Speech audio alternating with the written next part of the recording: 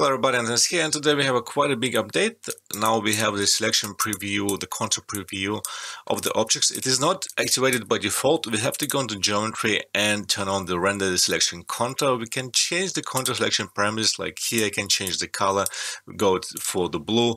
And you can see here that I have actually a pink color here. I have the pink color because my layer reference color is pink. So if I go and change it to say green and apply to the object on symmetry and click OK and then pick this uh, guy, we can see we have our green preview, which is really quite smart when you have many layer colors around the objects.